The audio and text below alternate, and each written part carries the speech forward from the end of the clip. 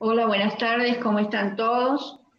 Eh, bienvenido, ministro, a este espacio remoto de conversación. Es muy importante para nosotros, al menos para mí, que nada menos que el Ministerio de Trabajo, en la ocasión que estamos viviendo, pueda mantener este, esta ida y vuelta con nosotros. Sobre todo los, que estamos tan, tan lejos de la, de la capital federal, ¿no? En primer lugar, yo quiero celebrar esta mirada federal que demuestra en cada medida que se implementa el gobierno nacional. Eh, que no haya cupos por provincia para asignar los beneficios que se han considerado y se han puesto en marcha, es, este, lo ratifica. Esto es muy importante, que, sean miradas este, los ciudadanos de, toda, de todo el territorio de la nación de igual manera, con igual derecho, este, a acceder a los diferentes programas que hacen al trabajo y a la producción, como a los beneficios sociales. Eh, yo dos preguntas le, le haría. Este, preguntarles si es que han notado que se han incrementado la iniciación de procedimientos preventivos de crisis por parte de las empresas. Si esto fuese así, ¿qué tipos de empresas son las que se han, han iniciado los procedimientos? Si son grandes empresas, si son pymes, MIPYMES. Este, si esto no es así, si usted cree o considera que es porque justamente las medidas de contención y en apoyo este, en esta emergencia contribuyen a que las empresas sigan manteniendo este, su estructura.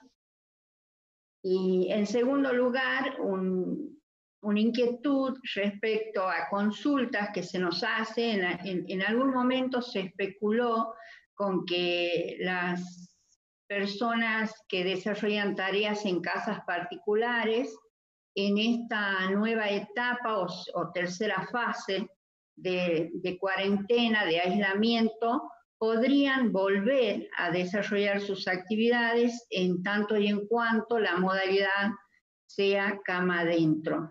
Este, la verdad que a mí no me quedó claro si esto finalmente se decidió de este modo o no, o no está permitido que ellas trabajen, ¿no? Eso nada más. Muchas gracias.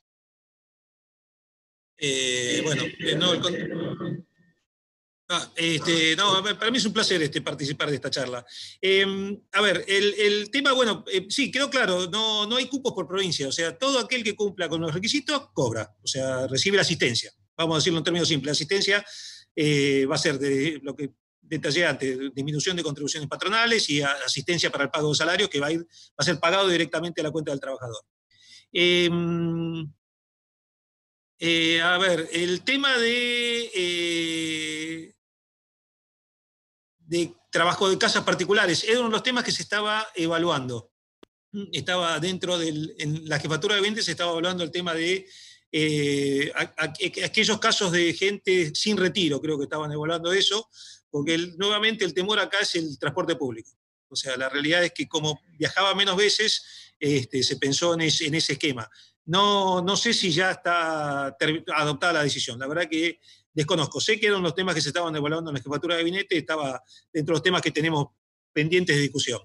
¿Qué, qué otra pregunta había? Discúlpeme, pero Procedimientos preventivos de crisis. Ah, procedimientos preventivos de crisis. No, no, no, estamos, primero, en general lo que está llegando ya son más que procedimientos pedidos por la empresa, son eh, presentaciones del 223 Villa acordada con los sindicatos.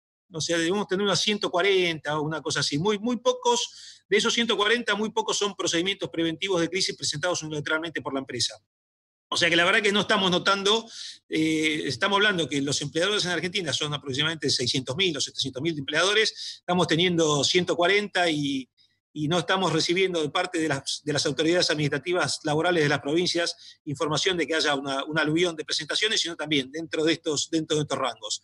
Eh, yo creo que la salida, a mí no me preocuparía que hubiera muchas presentaciones por el 223 bis, porque me parece que es una, es una herramienta muy razonable que permite que participe el sindicato en la definición de la, de la, de, la compensación y de cómo funciona la suspensión, si son rotativas, si son para todos los trabajadores, son parciales, etcétera, etcétera. Permite, un, permite que se use la negociación colectiva aún en esta situación de crisis que me parece una herramienta excelente.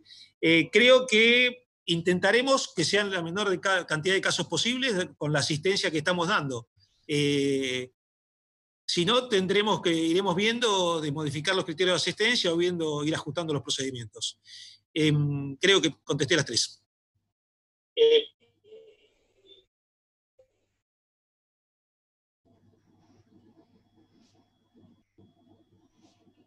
Binek.